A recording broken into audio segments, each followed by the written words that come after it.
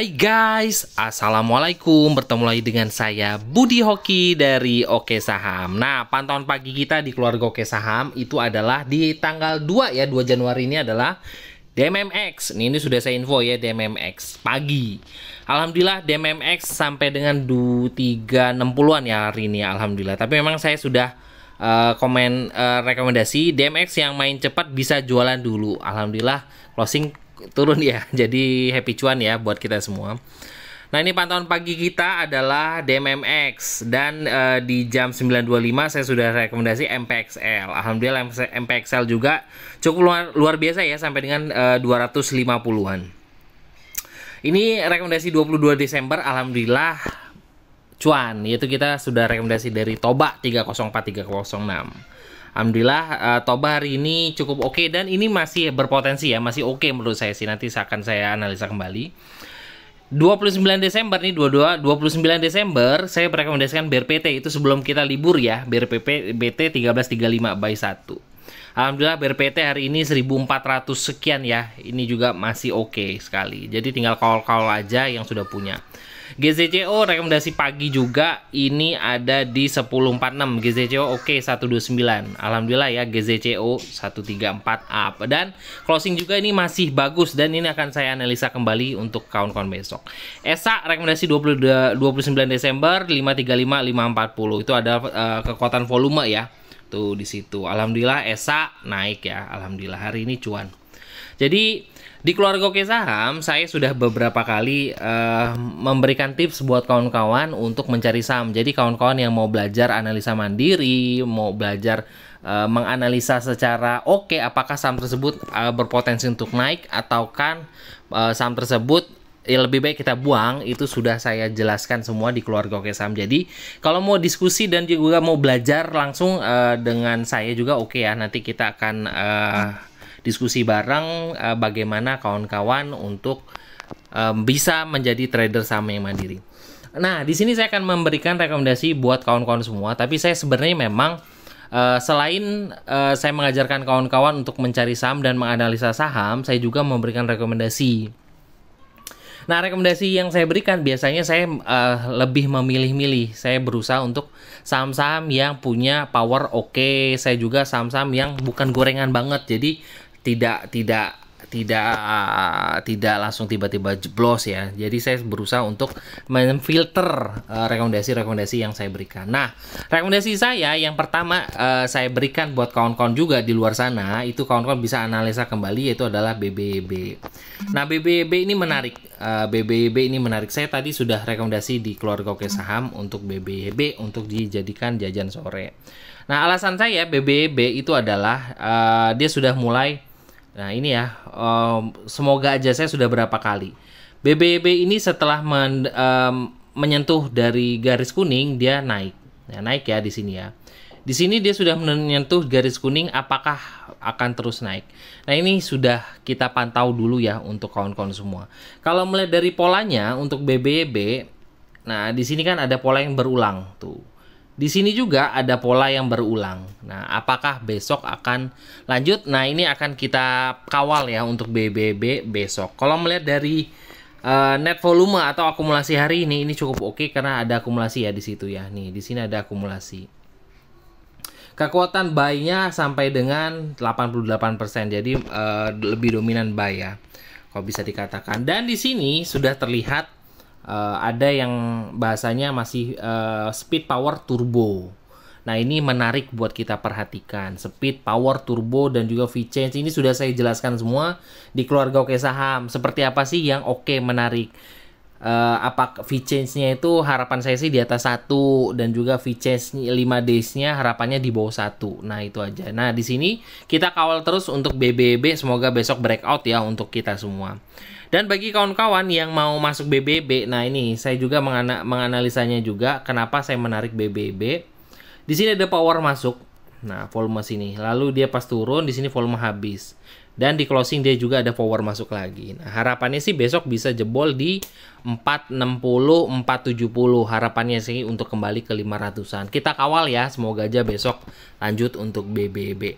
Bagi kawan-kawan yang punya mau masuk BBB, Nih, saya kasih clue-nya aja. Selama bertahan di atas 450 itu yang terdekat ya. 450 itu yang terdekat, eh, kawan-kawan bisa masuk di situ. Itu untuk trading pendek, eh, stop loss dekatnya adalah di 450. Closing di bawah 450 ya. Nah, jadi kalau sana di bawah itu selama belum closing ya sebenarnya masih oke okay aja. Bisa cicil di situ. Itu adalah uh, eh, BBB. Nah, untuk saham kedua yang saya rekomendasikan buat kawan-kawan semua itu adalah PGEO. Nah, ini adalah saham saya yang berkali-kali saya rekomendasikan buat kawan-kawan semua. Alhamdulillah hari ini uh, eh, PGO mulai terlihat ada pembalikan arah. Nah, nah, saya saya mendekatkan kembali di sini. Di sini terlihat apakah dia membentuk pola cup and handle. Nah, apakah seperti itu? Harapannya sih seperti itu karena hari ini membentuk pola yang cukup bagus ya. Di sini ada candle cukup oke. Okay.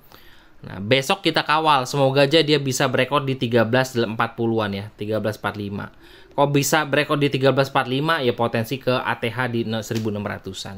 Semoga aja bisa lanjut. Kenapa? Ke potensi ke situ. Kalau kita melihat di sini kan ada pola yang saya bahas, cup and handle. Nah, kalau kita bisa buatkan gambarnya, target price-nya di sini ini kisaran ke 1.600-an target price-nya di situ ya untuk uh, eh, BBB. Eh BBB PGO. Jadi menurut saya sih kawan-kawan bisa pantau terus PGO ya. Karena ini adalah salah satu saham yang selalu saya rekomendasikan. PGO di sini juga terlihat uh, ada volume-volume buy cukup oke. Okay. Nah, bagi kawan-kawan yang mau masuk PGO, nah buy satu bisa di HK di uh, harga closing 1265 Buy 2 itu bisa kawan-kawan pantau di harga 1200-an. Nah, ini adalah stop loss-nya adalah di 1200 terdekat atau maksimal di sini.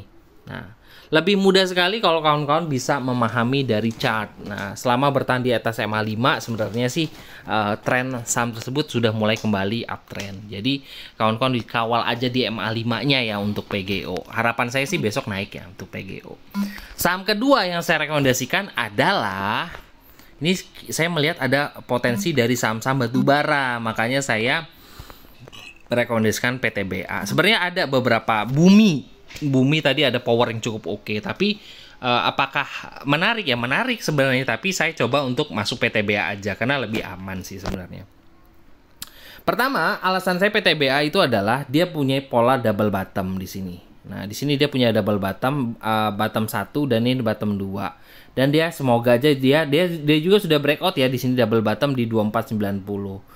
Saat ini 2490 itu sebagai support terdekat. Nah, jadi kawan-kawan bisa buy satu di harga closing 2530, buy 2 kawan-kawan bisa cek di 2490 atau di MA 50-nya di harga berapa. Itu adalah uh, harga-harga krusial yang bisa kawan-kawan perhatikan. Nah, yang bikin menarik target terdekat untuk PG uh, eh, PTBA itu adalah gap di sini satu. Sini ada gap ya di situ. Kisaran harga 2600 harapannya sih menurut saya sih oke okay. karena kalau saya gambarkan target double bottom di sini, aduh. Ya di sini karena agak ala-ala cepet ya. Jadi nah target double bottomnya itu ada di sini nih. Nah, di sini kan double bottom. Ini bottom, bottom.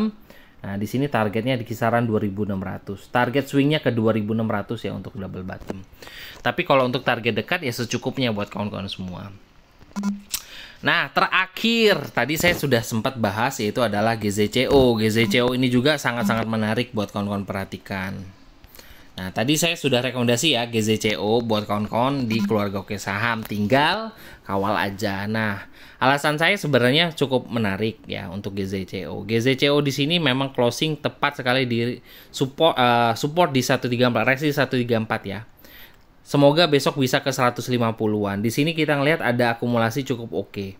Nah, di keluarga Oke Saham kan ada bot yang buat membantu analisa, kita bisa melihat uh, ada akumulasi, kita bisa melihat tren, kita bisa melihat kekuatan volume, kita bisa melihatkan speed powernya, safety-nya dan sebagainya. Jadi uh, sebenarnya bagi pemula cukup oke okay buat menggunakan bot Oke Saham. Nah, di chart 5 menitannya juga kita pantau di sini ada spike power power di situ ya. Nah, makanya semoga besok terus lanjut ya untuk uh, eh, GZCO dengan stop loss dekat itu ada di harga 130. Jadi GZCO selama bertahan di atas 130 semoga bisa jebol di 140 dan 150. Itu ya buat kawan-kawan semua. Tiga empat rekomendasi saham yang saya rekomendasikan semoga ini bukan gorengan yang uh, crispy dan bisa kawan-kawan ikutin ya. Yang pertama saya merekomendasikan tadi adalah BBYB. Kedua, saya merekomendasikan yang namanya PGEO Lalu saya merekomendasikan yang namanya bentar. Uh, tadi apa ya? PGEO lalu saya merekomendasikan yang terakhir OPTBA dan GZCO ya. Nah, ini bisa kawan-kawan pantau ya. Nah, itu aja. Semoga bisa memberikan edukasi loh bagi kawan-kawan yang mau belajar analisa simple bisa gabung di keluarga Oke Saham nanti kita bisa diskusi bareng di situ atau mau diskusi langsung dengan saya untuk ya Pak step-stepnya buat belajarnya seperti apa nanti bisa kita kawal ya. Nah itu aja buat kawan-kawan semua uh, happy weekend eh happy weekend happy new year ya 2024 semoga di tahun ini segala cita-cita kita bisa tercapai dengan mudah dan juga senang. Terima kasih. Wassalamualaikum warahmatullahi wabarakatuh.